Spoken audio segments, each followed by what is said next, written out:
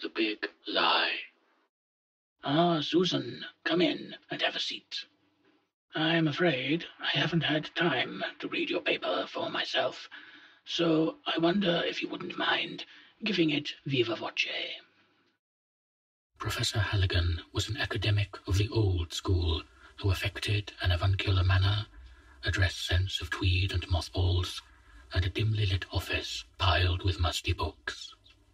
Susan was a nervous, uncertain student, fidgeting in her bright, fleecy shirt and faded jeans.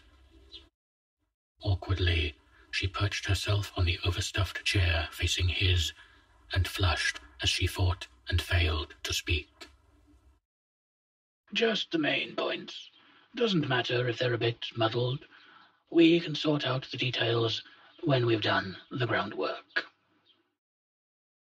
The professor put on his best reassuring smile and patiently nibbled on a fingernail while she collected her thoughts. For nearly a full minute she sat with head bowed, eyes closed, pinching the bridge of her nose. He was about to ask if she was all right when abruptly she spoke. For the last four centuries, we've been living in a capitalist economy, and economists have been trying to find out what that is. Malthus, Ricardo, Smith, Marx, Sraffa, Hayek, and Friedman, they've all failed. Their numbers just don't add up. They use equations built on unmeasurable quantities like confidence or demand. They pictured money as a fixed quantity of water flowing around a circuit of tanks and pipes with no entropy, or as something that had value only so long as we all behaved as though it did. Governments used to get themselves out of recession by printing new money, and sometimes it worked. They'd just magic new cash into existence, and somehow people could use pretend money to buy real things. But now most governments live on debt. They borrow money from each other, or from banks whose only capital comes from future repayment of loans, even when that future doesn't happen. Um, yes, said the professor slowly. The market is certainly very complicated, and there are parts we don't understand. That's not what I mean, though, said Susan, becoming more animated. There's a reason all those great minds failed. They were like theologians trying to explain God's grace. They couldn't define capitalism because because there's no such thing. The professor smiled. Uh, I think I see what's going on here. You are, remember, a first year economics student, and if I may add, a very bright and able one. You've reached that stage that most students go through when you realize that not only were your initial preconceptions flawed, but the better ideas of professional thinkers are also imperfect, so you think maybe no one has the answers. Maybe there are no answers at all. He chuckled. Believe me, I've watched it happen hundreds of times. You're having primal doubts, but they'll pass, and you'll learn to live with the gaps in our knowledge, and hopefully plug a few of them. Susan looked deflated and screwed her eyes shut. No, it's not that. It's something more obvious. What do you mean? She stared at the floor for long seconds, then suddenly looked up. What is profit? Businesses exist to make it. The whole Western world is based on the idea of making money, but how is it made? What's it made from?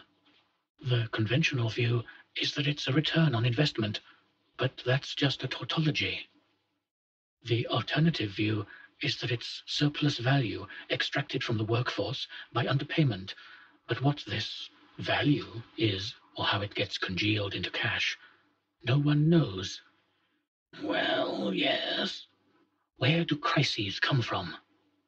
The right wing says they're from overregulation, or under-regulation, or bad regulation. The left says it's overproduction, or underproduction.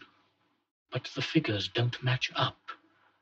Both sides are saying the system's like a machine that breaks down occasionally if it's not calibrated correctly. But no one knows what parts the machine even has, even though we're the ones who built it. I. Susan faltered and seemed on the verge of tears. Professor Halligan reached out halfway to pat her, then hesitated and withdrew his arm. Look, you're obviously agitated. Why don't you take the rest of the day off, and tomorrow we can resume our excavation of modern capitalism? But there is no capitalism. It's a sham. It's a front for something else.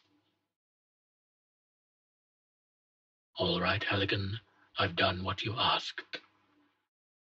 Everyone thinks I'm on a plane to Chicago, except those who think I'm having a dirty weekend with a call girl. I've doubled back, put down false leads, paid for everything with cash, and left my phone at home. Now suppose you tell me what this is all about. Professor Schmidt sat on the end of the hotel bed, waiting for his former student to take off his coat and start explaining. Nearly a year ago, a student came to me with a thesis. It was. Actually, it was brilliant. She had read all the classic texts, plus dozens of others I had barely heard of and she'd gone right back to basics. Defining terms like market, commodity, product, trade, and price from the ground up.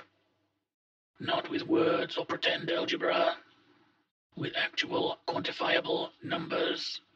It was, yes, it was brilliant. Schmidt's expression didn't change. So you've got a good student. Bully for you. If this is about her having your baby, I won't be impressed.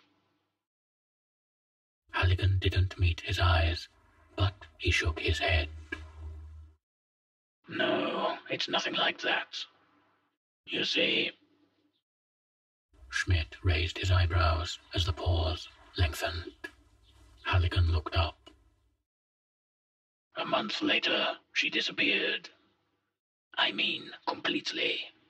She resigned from the course, left her flat, and it's like she vanished from the face of the earth. But she left something for me a big box of all her research, and the full version of her thesis. It was brilliant, prompted Schmidt sardonically. She had come up with a whole new set of equations to describe everything from the value of land to delayed return in technology investment to the effect on productivity of lunch breaks. She plugged in all the numbers she could find, but the numbers didn't add up. Schmidt snorted. So, a student invents a grand new theory, does the arithmetic, and it falls apart. Happens every year. No, I've spent the last ten months looking for where she slipped up. Some ambiguous term, some unwarranted assumption. There weren't any. At least, nothing I could find, and that's why I'm here. Either I'm going senile, or this girl's explained the failure of economics as a discipline in a way I'd never even considered. Then I'm afraid, old chap, you probably are losing it. I need you to look at her work. If I'm just a stupid old man, fine. If she's made an obvious mistake and I've got Alzheimer's, you'll see it. If she's right, if she's right, I know you'll tell me too. Schmidt stared at his former pupil. You're really serious, aren't you? This girl's got under your skin. Okay, I'll read her tome. But what are you going to do when it turns out to be bunk. Go back to your department or retire out of embarrassment. Neither. I've been told in no uncertain terms that my contract is being terminated.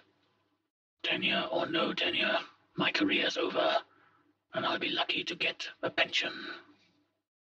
My dear chap. It happened a week after I went to a colleague with what I've just told you. Please just read it. Dr. Baxter looked over her spectacles at the tired face of Professor Schmidt. There's no way we can go public with this, she said. They'll bury us. We'll wind up on some website about crazy conspiracy theories. Schmidt gazed into the middle distance. I know, he said. We thought we were living in a world of markets and corporations, but if we were, they'd all have collapsed decades ago. When you buy your cigarettes from the corner shop, they're impossible. There's not enough labor to make them, and the infrastructure to extract and transport the raw materials would cost more than anyone could pay for the finished product. Schmidt nodded. Baxter continued. The moment money gets printed, its value gets cancelled out by its own future movement. It costs more to make a bar of chocolate than to bail out a bank. Diamonds and gold only have value when they don't have function. Taxes could only work if the government paid the people. It's like we're through the looking glass. Schmidt took up the monotone without looking at his colleague.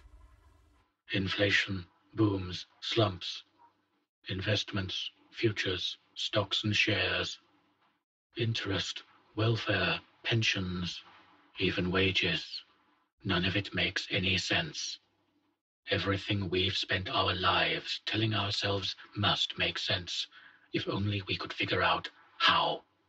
It's all just a light show, a distraction but who's projecting the lights?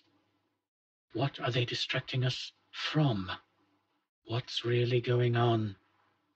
You mean, who would maintain the fiction of a global socio-economic system for several centuries? Who would pretend to pay us and pretend to take the money back to feed us? I mean, who would have the power or the need?